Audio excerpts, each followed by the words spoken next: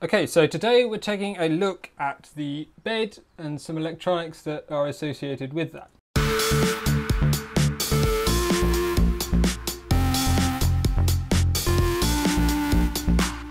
So over here is my bed, just leaning up against the printer with the Filafarm silicon bed heater on it. With this is the Silly Protect. I don't know why they call it Silly Protect because it's not very silly, it's actually very sensible presumably it's silicon protection or something. But so out of the bed, whatever aluminium, out of the bed you've got four wires. Well, you've got sort of three regions. So the first is the thermocouple.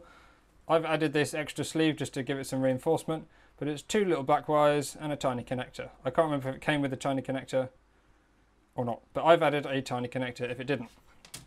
Next you have the ground wire. This is a single wire and lastly, you have the live and neutral, which in Europe, or is it just the UK? Well, in the UK, it's brown and blue, and the earth is yellow, yellow-green. Always yellow and green, actually. So, where do they go? Well, thermistor, obviously, straight to the control board.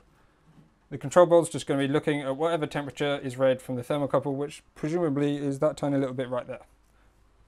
There you go, that's the first part. Second is the ground. The ground goes straight to the power supply. So we've got this little container for that and I'll show you in there in detail later. But the ground, straight to the ground on the power supply. The ground on the power supply comes straight in from the ground to the connection to the wall. So that is grounded directly to, you know, ground.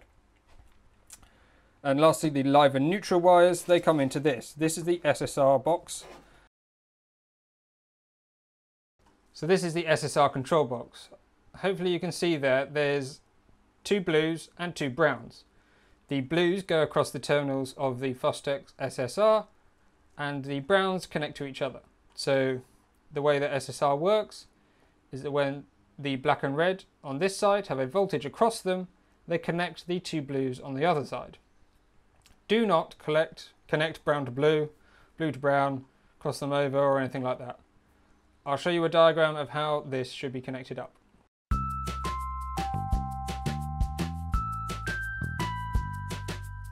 You can also see there on the Fotek SSR, just by the positive on the 3 to 32 volt side, there is a little light.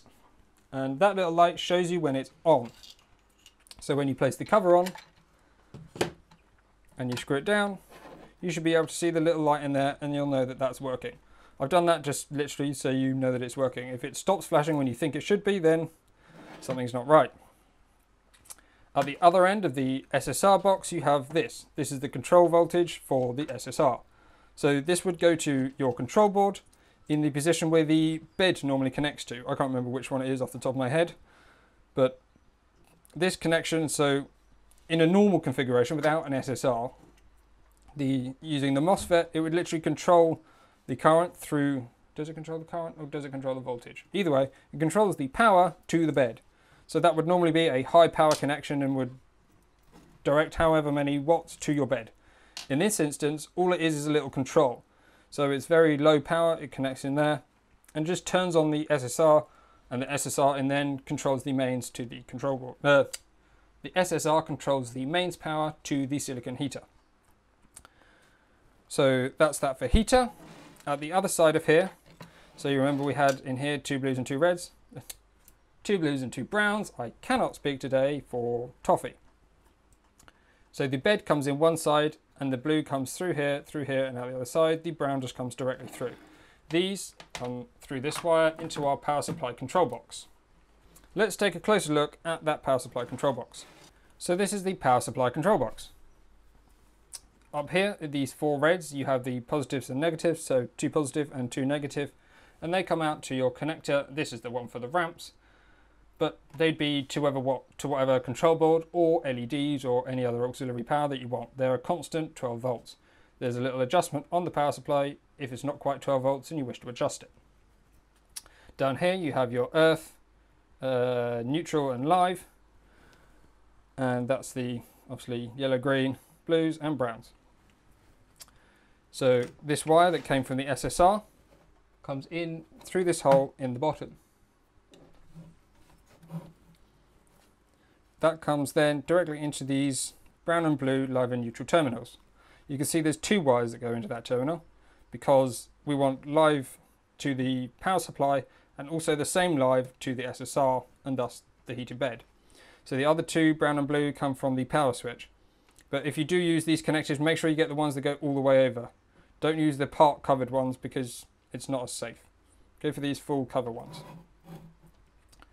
Uh, so yes, from this power switch, you've obviously got the live and neutral and obviously the earth. The earth comes to the earth, which also comes for the bed earth. So let's go through now how the power switch is wired up. On the front side, you'll be able to see three prongs, hopefully. I'm pretty sure all countries have three prongs, surely. So you've got the ground in the middle and then the live and neutral, a fuse in the middle and a switch at the top. The fuse should contain a fuse. It won't necessarily come with one, but you need to put a fuse in there because otherwise it won't do anything. Let's have a look at how it works. Ugh, it's impossible to get the right angle. So at the bottom here, you can see the other side of the plug. So you have your blue, the neutral, the yellow green at the bottom, or well, the far right side, which is the earth, and then the brown live connection on the, well, this one you can't see the connection, it's another, it's a sort of pass-through connection. So that metal plate at the bottom there, that goes from the, that's the live input across to the fuse. So that fuse then goes upwards to the brown connection, and that brown connection then jumps across to the switch across the other side of the switch. You can see the brown connection come out again, and that's the one that goes to the power supply.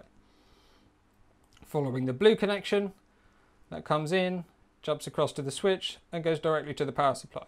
Note that the blue is not connected to the fuse. The fuse is just through the brown. Hopefully that's clear. And then the ground connection you can see comes in the bottom, and that just goes directly to the power supply. There's no switch, it's always on.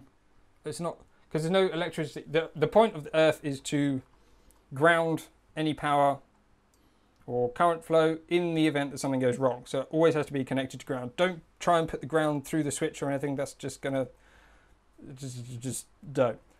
Hopefully that does explain somewhat how the electronics are wired up.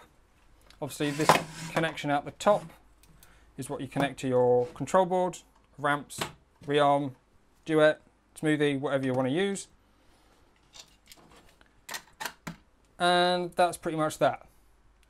So to finish this video, for actually mounting the bed, all you need is the parts listed on the drawing, which are some screws and springs. I'm pretty sure I've gone through how this works before. But you want to slip your bed up through the bottom, like this, and then I mean, I'm only going to use three because I like that three-point leveling, but you can use four if you want. That comes through the top like that. Can you see? Spring goes in there.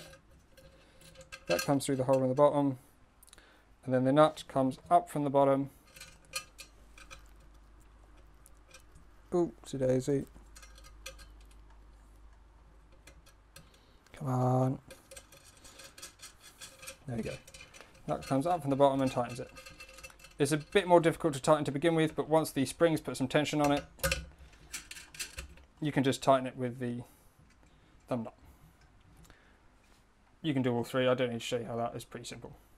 So that now covers all the bed, how to mount it, the power control circuit, the power supply, and how that all connects into the control board as well.